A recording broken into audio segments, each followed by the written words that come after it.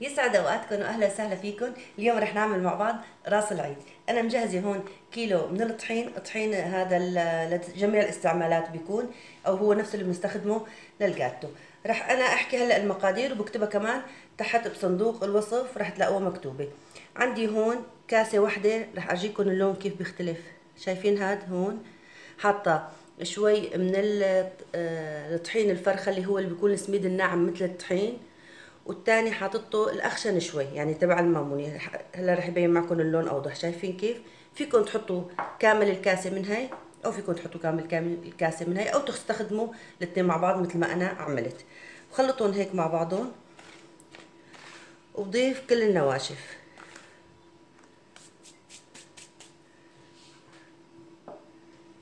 رح أحط عندي هون معلقة واحدة من اليانسون آه، الحب. هذا اختياري بدكم تحطوه حب أو لا بيصير. وراح أحط كمان معلقة كبيرة كمان من اليانسون المطحون. معلقة كبيرة من الشمرة أو الشمار. كفيها شوي لتصير معلقة كبيرة هالشكل هذا. عندي بمعلقه الصغيرة رح أحط المحلب. هذا كافي المحلب بهالمعلقة بس. وبحط كمان نفس المعلقة الصغيرة بحط جوزة الطيب معلقة الصغيرة.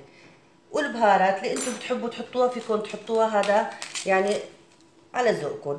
راح أحط كمان ظرف من ال baking powder معلقة واحدة من الخميرة. بس معلقة كبيرة ممسوحة بهالشكل. وآخر شي بدي أحط رشة الملح هاي هي كل البهارات اللي أنا بدي أضيفها. رشة ملح بسيطة رح أحطها بإيدي مشان ما أنغدر. هالشكل بس هالقد. وبخلط كل النواشف مع بعضهم. بلشت الريحة تطلع ريحة بتجنن.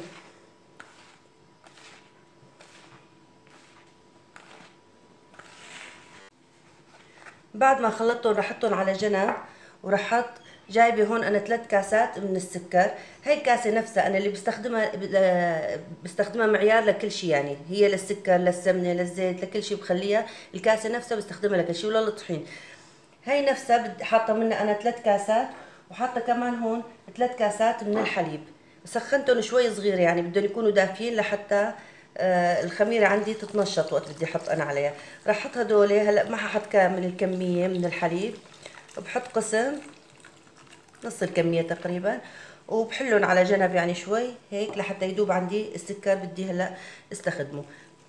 بخلطه هيك شوي لحتى يدوب عندي السكر. طبعا الحلا مثل ما بدكم أنتم يعني أنا حاطة ثلاث كاسات ممكن تحطوا أنتم أقل أو أكثر هذا بيرجع لكم. بس لأنه هدول القراص ما محشيين أي شيء فنحن بنخليهم شوي يكون حلاهم زايد. رح نرجع للطحين. أنا مجهزة عندي هون كاستين من السمن مثل ما أنتم شايفين. بس هي تاركتها شوي ناقصة لأنه رح أحط عليها زيت عادي زيت النباتي زيت المازولا يعني أو أي زيت بكفي هي الكمية بس زيت. بهالشكل. وبحطهم كلهم هلأ وبصير بعدين بسون بإيدي.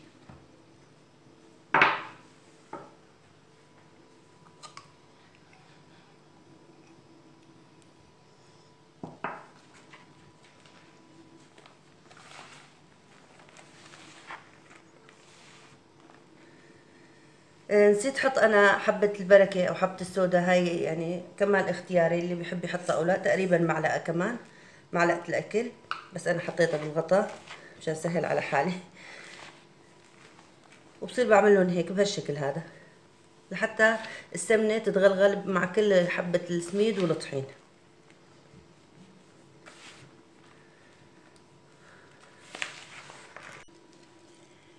هلا راح نحط الحليب والسكر. أنا آه، آه، يعني قلت لكم حليب بس فيكم تسووا كمان بالمي. يعني ممكن نعمل نعجن بالمي بدل الحليب. رح أحط شوي شوي وأعجن.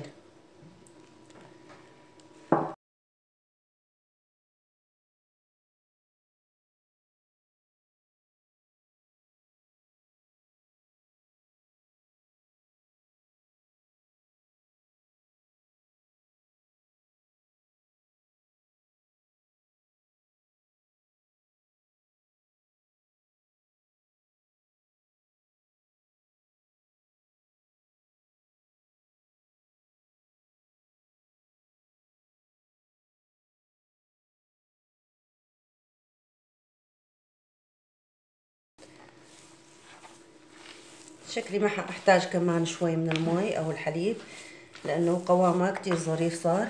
هلأ أنا هي بدي أتركها كمان شي ساعة بنرجع نشتغل فيها مع بعض. بحطها على جنب وبغطيها لحتى ترتاح. تنفخ شوي وبعدين بنرجع نشتغل فيها مع بعض.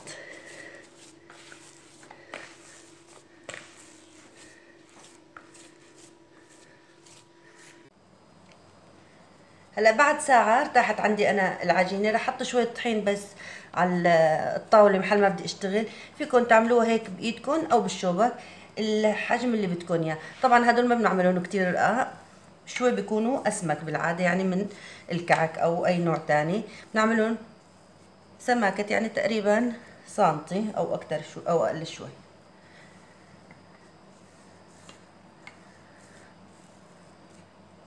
صور هيك كافي.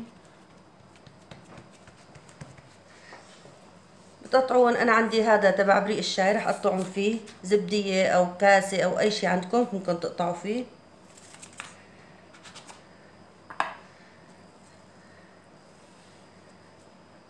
بدنا نعمله مثل القراص بنضغط عليهم هيك بهالشكل من الحواف بالإصبعتين بهالشكل.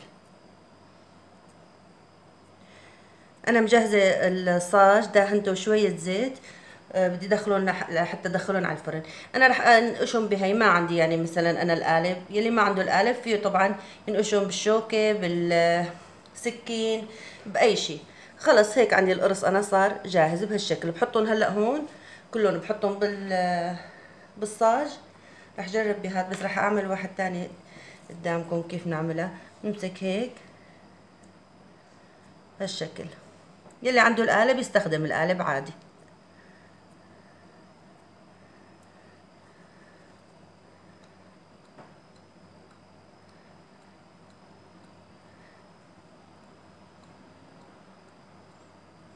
حتى إذا ما حبيتوا تعملون هيك بهالشكل ممكن تخلون مفرودين وتعملون بس بالشوكة يعني بهالشكل هذا.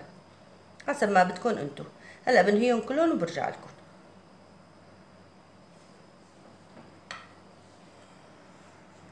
بعد ما انتهيت منهم هلأ بدي أدخلهم على الفرن. حامية الفرن أنا على درجة حرارة 180 بتحموه قبل بعشر دقائق وبحطهم بشغل عليه من تحت ومن فوق سوا. آه، بس أنا بدي لكم أنا استخدمت هدول كمان تبع آه، ورد الشام لأنه ما عندي قالب فقلت يعني بدي استخدم أي شيء عندي يعني بدي أحاول أستفيد من أي شيء متوفر عندي. مثل هدول شايفين كيف؟ عملت فيهم هدول الأشكال. أنتم شو متوفر عندكم؟ فيكم تساوون. هلأ بندخلهم على الفرن وبس طلعوا بنرجيكم شكلهم كيف رح يكون.